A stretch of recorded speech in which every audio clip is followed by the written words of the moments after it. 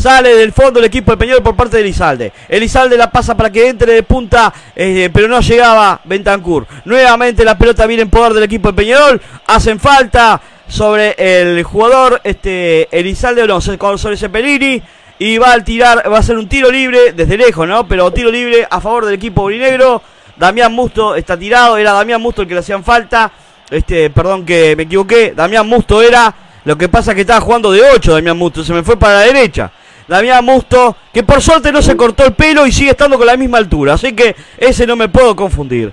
Avanza con la pelota el equipo de Peñarol. Nuevamente la pelota viene para el medio, pero se le va para afuera. Empieza como a querer tocar un poquito más la pelota el equipo urinegro. No sé qué es lo que estás viendo vos, pero eh, muy tímido lo de Barracas, muy tímido. Y Peñarol en la medida que se lo proponga, este, va a concretar el primer gol antes del primer tiempo.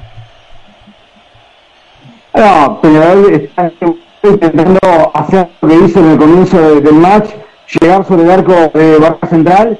Dawson, hablando de Corito, está durmiendo en el arco carbonero porque Barraca Central no ha llegado en ningún momento sobre la valla eh, que no está en un pozo, y hablábamos de eso hace instantes, es Lucas Torrey. Gustavo, porque la Argentina hoy ganó 6 a 0 al Génova por la Liga Italiana. El último gol lo hizo Lucas Torreta, que se fue al minuto 80 siendo titular, uno de los futbolistas que en el viejo continente está teniendo más tiempo de juego y que seguramente parece, no sé qué pensás, va a ser una ficha inamovible en la entrada de la cancha para Diego eh, de la manera que juega Diego Alonso, con una presión alta y todo lo demás, Torreira es un jugador ideal. Porque Torreira es como una especie de drupi. Te puede quedar como último hombre, te puede salir a presionar a, arriba. Es como. Me hace acordar en su momento, obviamente que una diferencia totalmente mm, abismal, ¿no? Con la parte física, con el cacha, que te acordás que salía a presionar este eh, arriba, ¿no? Este, cuando estábamos en estado físico. Después, obviamente, ya cuando con el pasaje del tiempo no pudo. Pero bueno, este Torreira es un jugador de mucha presión y eh, eh, entra como, idea, como anillo al dedo para lo que es el esquema de Diego Alonso, ¿no?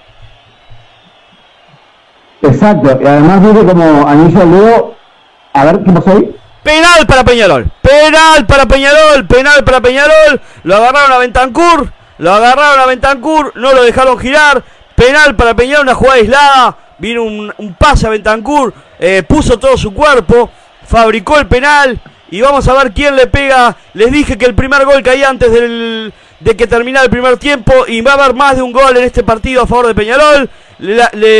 bien cobrado el penal, ¿eh? Bien cobrado. Le agarraron la camiseta en forma infantil. En forma infantil. Le agarraron la camiseta al hombre de Peñarol. Y vamos a ver si lo tira Bentancur. Vamos a ver si se sigue riendo ahora. Este, vamos a ver quién le pega. Este, si va Bentancur, si va Cepelini. Porque comúnmente Cepelini era el que, que estaba tirando los últimos eh, penales. Pero vamos a ver quién, es el que le pega.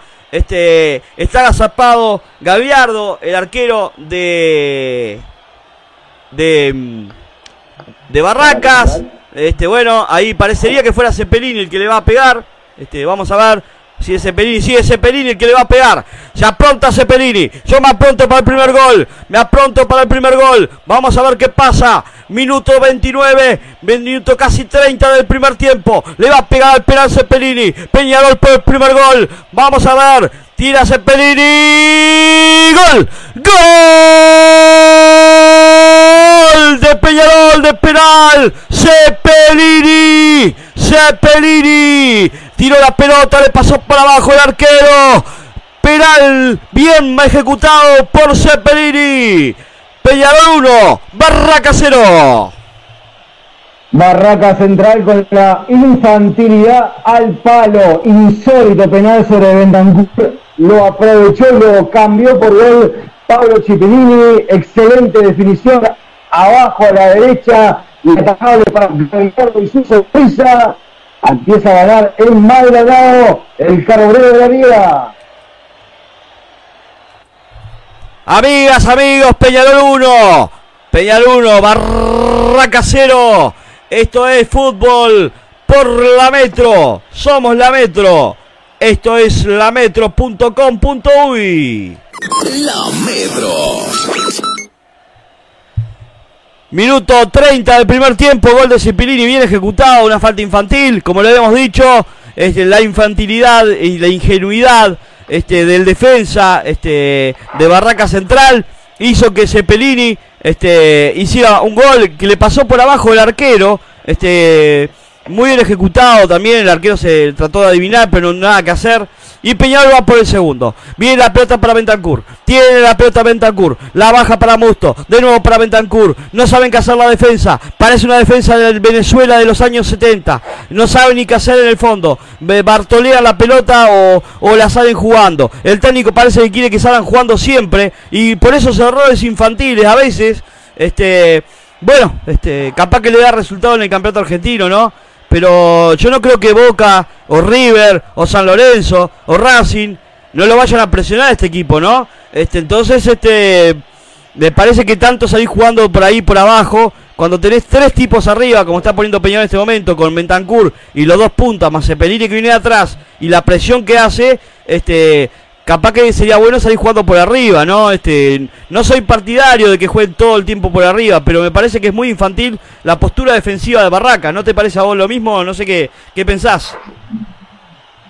Sí, Gustavo, eh, infantil, eh, falta de experiencia de, fútbol internacional, eh, Barraca Central, realmente hasta el momento dejando una muy pálida imagen, sobre todo pensando en la dificultad que tiene el campeonato argentino de la primera eh, división, en la que Barraca Central va a tener que empezar a rezar para intentar zafar de las posiciones más abajo de la tabla, porque si esta es la muestra, no Precisamente el equipo de Peñarol por parte de Beatriz. Beatriz que se la dio para la Quintana. La Quintana desborda la primera jugada, ya genera un córner. Esto es lo que queríamos ver. La Quintana, Beatriz Canario, Brian eh, Olivera. Esto sí lo que queríamos ver. Un ataque ofensivo, un ataque de primer nivel. Vamos a ver qué pasa. Vamos a ver qué pasa. Este, el que entró muy bien también muy bien, muy bien. Es Álvarez Guaras. Una presencia impresionante en el medio campo. El número 5 con muy buenas condiciones.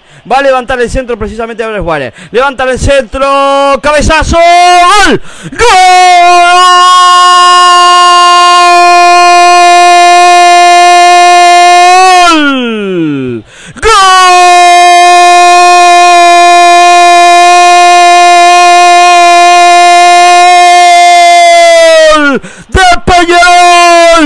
Decíamos que la defensa de Barracas era lenta y le vino a hacer un gol un cachila. El cachilarias le hizo un gol de cabeza a Barracas. La defensa lentísima se quedó toda, pero la cachila fue como si fuera un cero kilómetro. El cabezazo del cachilarias en la defensa, que es muy lenta. ¿Qué me dice? ¿Qué me cuenta, maestro Cartagena?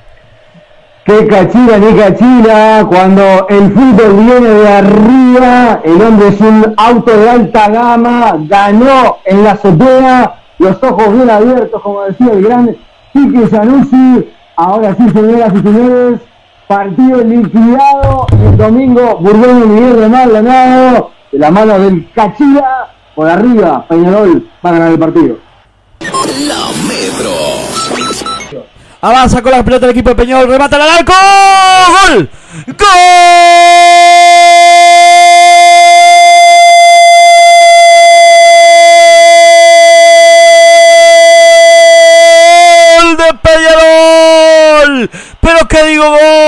Golazo, golazo de Peñarol en la pelota que viene hacia el área, entra Sarabia, el que entró en lugar de Gargano, enganchó, dejó sentado al defensa, definió como los dioses, un golazo, la pelota que le baja al canario, entró, lo dejó pagando, se cayó sentado, se cayó sentado el bolero también, dejó a dos por el camino, Sarabia, un golazo, valió la pena para los que se quedaron bajo lluvia del maestro. Golazo de Peñarol en el domingo Burrino Miguel y acaba de poner la frutilla en la torta a maquillar el resultado a favor del equipo de la Riera, notable de Sarabia, cambió de velocidad, cambió la marcha, hizo frenar e ir de largo al defensor y definió, levantando la cabeza como si fuera a evitar a un compañero, pero terminó rematando al arco. Eso fue inalcanzable para Gagliardo del arco de Barraca Central. Señoras y señores, con lo de Celaya se pagó la entrada. La Metro. Equipo de Peñarol. La tiene el Canario Martínez, le rebata el arco y la pelota se va al córner. Tiro de esquina para el equipo orinegro que quiere el cuarto. Y si se lo propone, viene. Si se lo propone, viene. Va a venir un tiro esquina. Levanta de nuevo Álvarez Wallace. Y va a entrar toda la artillería de Peñarol. En este caso, este, me parece que el que está mejor posicionado es Lucas Beatri. También entró Matías González. También está el 9 que lo agarra todo el mundo, 9, ¿no? Obviamente. Este, Álvarez Martínez. La pide la cortita la Quintana. Vamos a ver qué hace Peñarol esta. Puede venir el cuarto. Levanta centro. La pelota queda ahí. En el borbollón la sacan. Vuelve para la Quintana. La pelota se frena. Viene para Olivera. Levanta el otro centro. Viene Álvarez Juárez como puntero derecho. Levanta centro. Busca pie. ¡Gol! ¡Gol!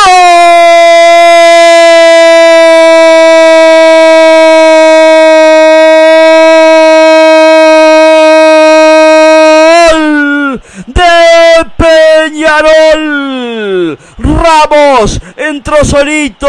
Me parece que la pelota le pegó en el taco, si no vi mal. Un centro. Se desbordó como puntero derecho Álvarez Guaras ante un pase monumental. Y en el segundo palo entró Ramos cuando en definitiva este, rebota, rebota en un hombre del equipo argentino y Ramos la desvía. Vamos a ver bien la jugada. Es de taco de Ramos, sí, de taco. La había visto bien, la había visto bien. Una jugada de taco de Ramos. Pero bueno, estamos viendo por televisión, no en la cancha, y teníamos que confirmarlo. Golazo de Peñarol, de taco Ramos para cerrar la cortina, decir, hinchas de Peñarol, váyase tranquilo a su casa cumplió eh, el equipo esta tarde ahí en el Estadio Burgueño Miguel. ¿Qué te pareció el gol? Un golazo. Ramos de calidad y de sutileza en Peñarol para llegar al cuarto tanto, para marcar una diferencia mucho más merecida con respecto a lo que fue el trámite del partido, con relación a lo que da uno y otro equipo en el campo de juego. Ramos apareció con un gesto técnico formidable, dejó sin asunto a Galviardo, y ahora son cuatro la diferencia entre los carroneros y el guapo